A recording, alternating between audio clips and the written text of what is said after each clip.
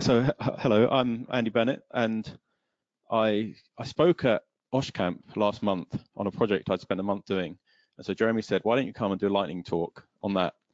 And because I overran quite substantially my 40 minutes then, I didn't think I could compress it into 10 minutes. Um, and besides, I had another project that I did in September that my friend and colleague Simon Worthington managed to convince me that everyone would find it interesting. Um, I was a bit shy about it, but um, I'm going to talk about it anyway. Oh, you, have only got me for 10 minutes, so if you don't like it, then that's that's fine. Um, so yeah, I I started as a hobbyist computer programmer, and then I trained as an electronic engineer. So I'm I'm an engineer. I'm a geek. I'm a I make things, and um, this is my this is my very happy partner, Kate, and um, our relationship was going pretty well and she'd occasionally show me rings that she liked. And you know, as a as an engineer, I'd look at the rings and think about the rings, and then I'd, you know, we we'd be walking along, and I'd point out rings that I thought I thought she might like, and she didn't like any of them. So realized that this wasn't going well. Um, so I decided to make my own. Um, and I'm going to show you a video of it first, which you've which you've really already seen. So here, here it is. Um, and I just thought I'd talk about it a little bit. Um, so it it glows and it's made of um, epoxy, cast epoxy on the top. She likes emerald, so it's green. So made of cast epoxy on the top and kind of brass um, for the ring and around the edge at the bottom. And um, it's got an LED, and so I, I, made two sizes of ring. Both were too small. Um, and then it's got the cast epoxy at the top, and the supercapacitor, which makes means that it charges in the box, and when you take it out of the box, it lasts for about five or 10 minutes, just sits there glowing away. And um, the glowing is kind of a feature because it means it uses less power, which means it lasts longer. Um, and it's based on the ATtiny, the AVR ATtiny. So the ATtiny 10 is one of AVR's new, very, very small micros. It comes comes in two incredibly small packages. I decided I was going to limit myself to packages which were less than two millimeters. Um, and so we made up a breadboard. I, I managed to managed to just about get it soldered to a breakout board, and made up a made up a little circuit to write the software for the um, for the glowing. It's got six, so two power pins, four I/O pins, which can be, I think they all can be ADCs or they can all be GPIOs. And it's got all the usual peripherals. It's, it's really, really capable micro. I recommend it's 30, 34p in single unit quantities. So yeah, check it out. It's great. It's a bit of a pain to program because it uses its own programming protocol. But if you've got a AVR Mark II, you should be a, a ISP Mark II, you should be fine. Yeah, it's really good for this kind of like embedded oscillation thing where you want to do a few different things. So because it's powered from a supercapacitor, you you don't really have a well-defined voltage, and it's gonna it's it's going to be a real pain to actually get all the charge out of it. So the design I settled on was a kind of a charge pump design. So this this we have a little um, PWM pulse width modulation running, and it and it pumps this capacitor, which causes this point to drop below ground. So we can the the um, the LED needs about 1.8 volts to come on, and the capacitor I chose can go up to about 3.3 volts and the micro runs down to about one volt. And using that, the charge pump method, we can run run the capacitor with the LED still lit all the way down to about a volt.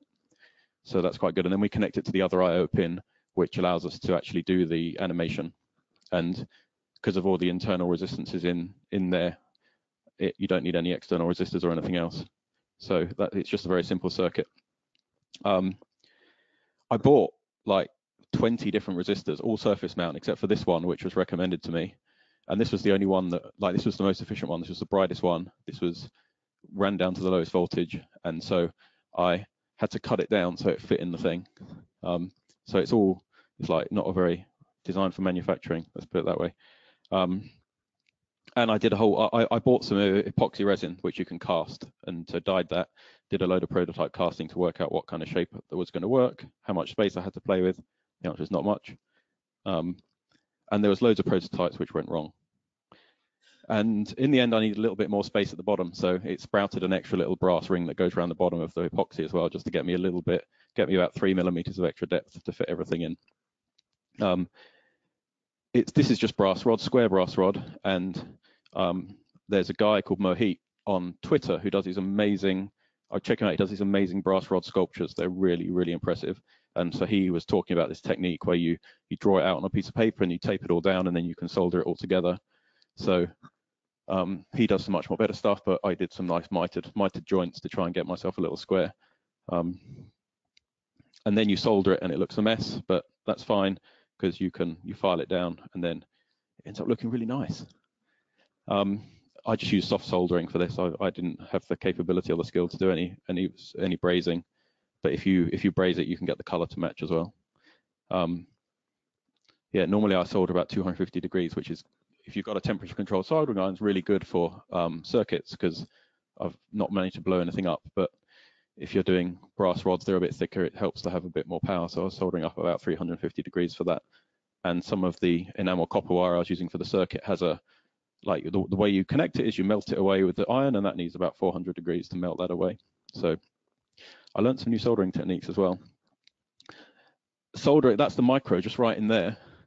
Um, soldering that was a real pain um, programming that. So to programming it, I um, I connected all these external wires to it to try and connect it to the programmer, and I ordered 10 of them in two different packages from Farnell, and they sent me 12, and I broke 11 of them over the course of about six hours because just as I was doing it, the leg would break. Like I'd, I'd knock something and the leg would break off, or like all the legs had just kept breaking off. Um, but it, yeah, I sat there from from about midnight one evening till about 9 a.m. trying to solder this thing on a, on a weekend. And then here's the little prototype for the for the LED embedded in the in the epoxy. And that's that's the whole circuit. There's the the kind of sawn off LED, and then the supercapacitor, and then the micros just kind of set on the corner there, and there's a little diode on that corner, and the little enameled wires and it still worked off. Like I, I, while I was building it, I actually powered it up just to check it was working all the way along. Um, and then it went in the oven because I was really running out of time. The epoxy takes about 21 days to fully set. You can it goes hard within about 24 hours, but if you bake it in the oven, you can get it to go hard in about 12 hours. So it baked in the oven for overnight, and um, I'd occasionally go in and check it was still working in case because the epoxy shrinks a bit as you build it. So I hope none of my connections were being pulled off. So there it is in the oven, curing and on. Um, eventually it came out and I've got these two little spikes, which are the charging ports. So they get um, they get machined down later, made it all nice and square, put the ring on, and then I was originally quite ambitious. There were, there were loads of features that got cut. So one of the things I wanted to do is wireless charging. So I designed a little wireless charger so it could charge on an Oyster card reader. Um, I got it to oscillate. I made a mess of my breadboard. Um, I eventually got enough gain. Well, I got more gain, but I didn't ever get enough gain. So it just charges with a little electrical contact in the box. So there's the box, the charger. The, I, I, got some ring boxes off of eBay, modified them so that this board fits in the bottom.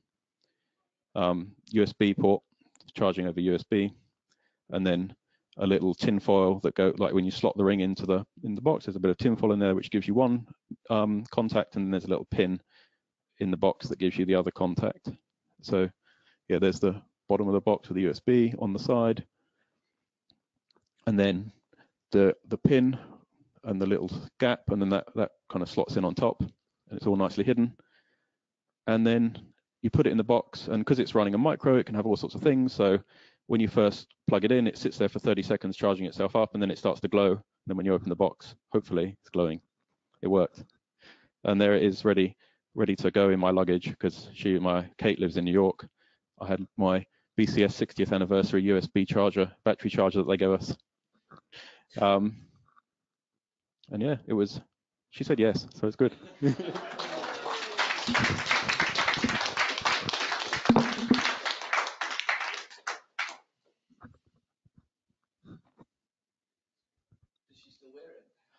Um, I need to make it slightly fits on her pinky finger, so she's very happy with it. Yeah, I need to make a slightly bigger band for it.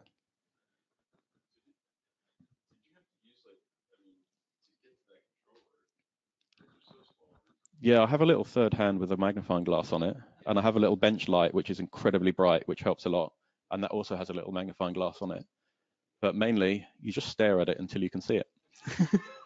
you get kind of the hang of where the pins are after a while, and how the solder glows when it's molten on the right place.